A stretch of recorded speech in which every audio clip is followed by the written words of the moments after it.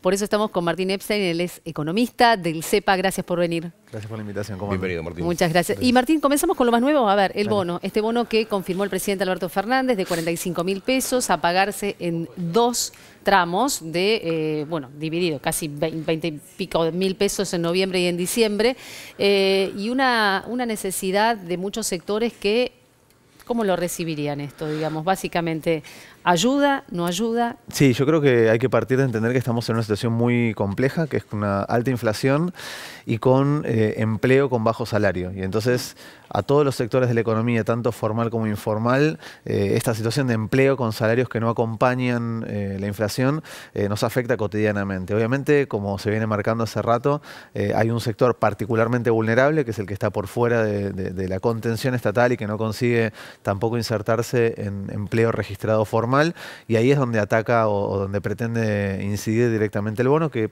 estaba planteado originalmente cuando se oficializó eh, el popular de la soja. Exactamente. Durante la pandemia hubo como una, suerte de, estadística o encuesta real, que fue cuando se instaló el IFE, ¿no? cuando se lanzó el mismo, que era para un número determinado de personas y lo triplicó o cuatruplicó, ¿no? la, la gente que tenía necesidad.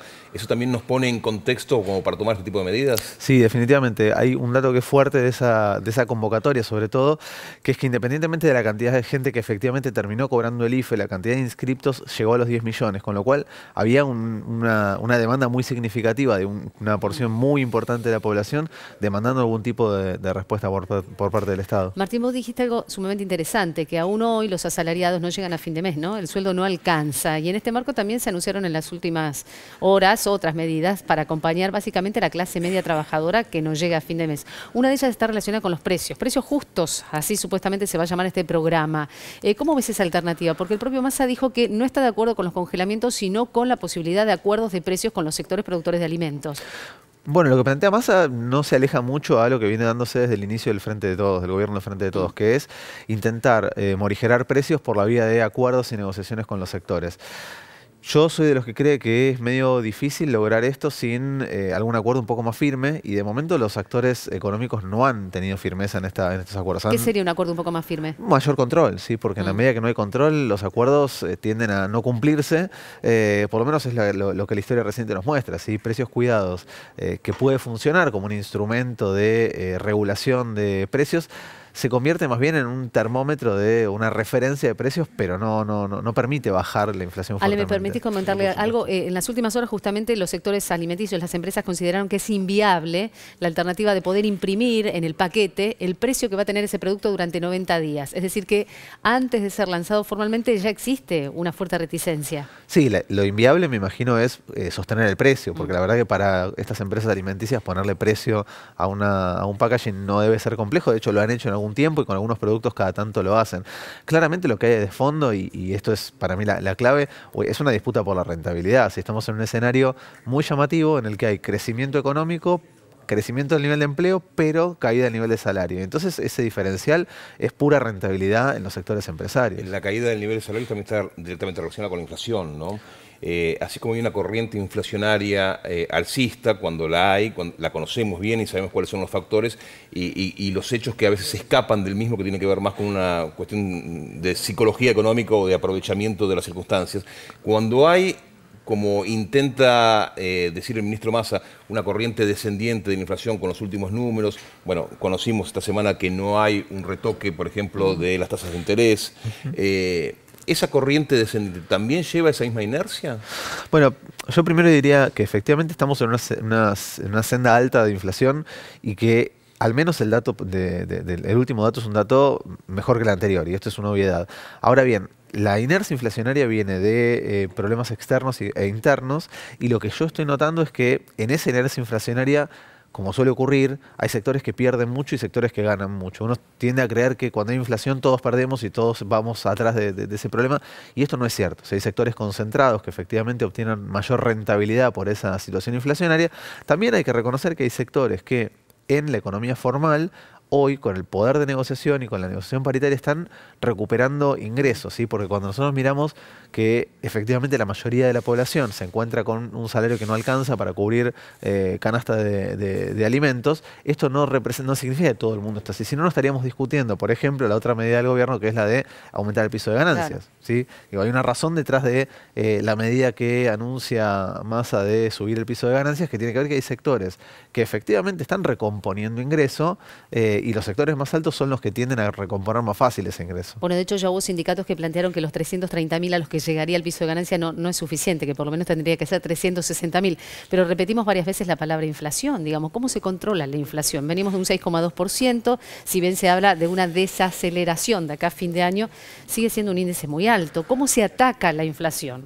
Sí, yo ahí diría, primero hay que entender que la inflación la vamos a tener que atacar en alguna cuota o en alguna parte porque hay una inercia inflacionaria que viene de afuera. Mm. Cuando nosotros miramos lo que pasa en el mundo entero con la problemática de inflación y el efecto que tiene la guerra y la pospandemia en esa inflación, digo, sobre eso es muy difícil actuar. Estados Unidos, que está levantando tasas de interés de manera sostenida, no logra frenar la inercia inflacionaria en un país que no tiene una tradición de inflación tan alta. Eh, llama la atención de que el dólar no esté acompañando esto, ¿no? ¿Por qué?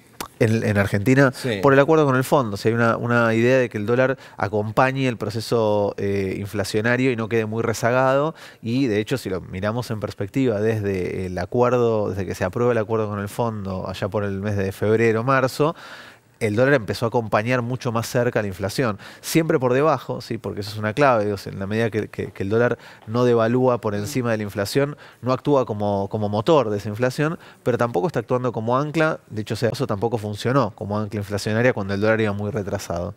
Pero es eso.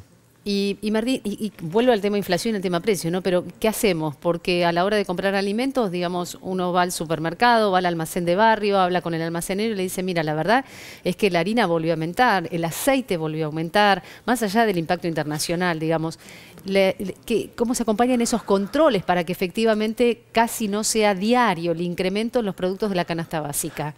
Bueno, yo creo que hay que actuar. Sanciones, digamos. Este fin de semana nos enteramos que grandes supermercados han sido multados con, eh, bueno, sanciones millonarias por, entre otras cosas, no cumplir el precio cuidados. Pero la verdad es que los precios siguen aumentando y comer hay que comer. Entonces, ¿cómo se actúa? Yo, yo creo, digo, no, tengo recetas mágicas para esto, pero yo apuntaría a tres, tres caminos en paralelo. Uno, un poder de control mucho más significativo respecto a los formadores de precios para evitar que esto que estás diciendo se sostenga, ¿sí? porque efectivamente vos podés plantear un montón de multas por incumplimiento, pero en el medio el incumplimiento se dio durante mucho tiempo y entonces el impacto sobre precios lo tuviste abiertamente. La segunda cuestión que la planteó no eh, Máximo Kirchner, sino el viceministro de Economía actual, Rubinstein, hay que meterse a mirar la rentabilidad empresarial. Si cuando vos te fijas, las grandes, empresas, las grandes empresas de alimentos, el margen de rentabilidad que vienen teniendo, sobre todo en lo que va del año, para poner solo un ejemplo, eh, en cinco empresas alimenticias que estuvimos mirando, entre ellas una de las más significativas de la Argentina y de la región, la rentabilidad en dólares creció en lo que va del año un 22% en relación con el año pasado. y esto necesariamente hay que mirarlo. ¿sí? No, no, ¿Y qué es meterse en la rentabilidad de las empresas? ¿Qué implica? Cuestionar el límite de rentabilidad. ¿sí? Mm. Si vos mirás lo que pasa en el mundo entero, ya que hay, algunos sectores que les gusta mirar cómo funcionan las situaciones en otros países, un margen de rentabilidad del 22%, y estoy hablando solamente en un semestre, para una empresa alimenticia es un exceso para cualquier país desarrollado del mundo europeo. ¿sí? 3, mm. 4% sería un margen de rentabilidad en normal. Esta épica argentina, que es luchar contra la inflación, porque más allá del contexto internacional es una, epidemia que tenemos los argentinos prácticamente desde hace cinco décadas. Eh, hay un instrumento que es importante, que es la presión social sobre, sobre los precios, el control social de los precios. Y daría la sensación que hay en este momento un efecto de resignación, ¿no? Eh, ya la gente perdió el control de lo que valen las cosas y, y se aferra al paradigma de puedo comprar esto o no lo puedo comprar, compro hasta acá, puedo comprar hasta acá. Ya no hay, eh, esa, me da la sensación de esa presión social sobre los formadores de precios, ¿no? Sí, es que de hecho acompaña una, una situación que es la que yo creo explica hoy, la única que explica realmente la inflación, que es la de la inercia especulativa. ¿sí? Los sectores formadores de precios, como creen que va a seguir habiendo inflación, siguen aumentando y esto es un derrotero que no, no, se interrumpe. No hay una explicación objetiva detrás del aumento de precios. No es ni el aumento de precios internacionales, porque de hecho están bajando, no es el conflicto internacional Ucrania-Rusia, porque de hecho eh, hay comercio de commodities en ese contexto, no es el precio de la energía, porque también está en descenso, no es eh, la expectativa de la devaluación. Digo, no es que nos estamos quedando sin reservas y por eso hay una expectativa de devaluación y proyectan eso en un aumento de precios. No hay una explicación objetiva detrás de la escalada de precios que se viene dando en los últimos meses. Entonces lo que hay que decir es, hay inercia especulativa. Hay formadores de precios que creen que va a haber aumento de precios y de, manera eh, preventiva aumentan sus precios. Y lo que generan es esto que vos decís, la dinámica de seguir sosteniendo esa, reproducción. ¿Y qué hace Ahora, en nos ponemos toda la camiseta Argentina, ¿eh? pero evidentemente a la hora de, en el todos los días la camiseta Argentina la tienen puesto algunos, nada más. ¿eh? Sí, sí, yo creo que, digo, me parece que para, para ir como retomando un poco lo que hablamos al principio, lo que hace falta, además de la cuestión inflacionaria, es pensar cómo hacer para revertir la situación de la población, porque necesariamente los bonos o las, el, cambio en ganancias ponen en evidencia que hay una sociedad que mayoritariamente está corriendo de atrás contra la inflación. Mm. Y entonces nosotros venimos planteando hace rato la necesidad de una discusión de fondo sobre un decreto de suma fija que recupere poder de compra en el corto plazo. Si no, independientemente de la capacidad de negociación, si hay gremios que han cerrado paritarias del arriba del 90% con revisión en diciembre, algún otro gremio ya cerró con paritaria arriba del 100 para enero del año que viene, como es el caso de seguros. Ahora bien, los sectores informales, los sectores no registrados, los sectores que no tienen gremios con un poder de reclamo tan significativo, son sectores que mes a mes van perdiendo capacidad de compra. Entonces la única forma es un decreto que eh, actualice salarios. Gracias. Eh.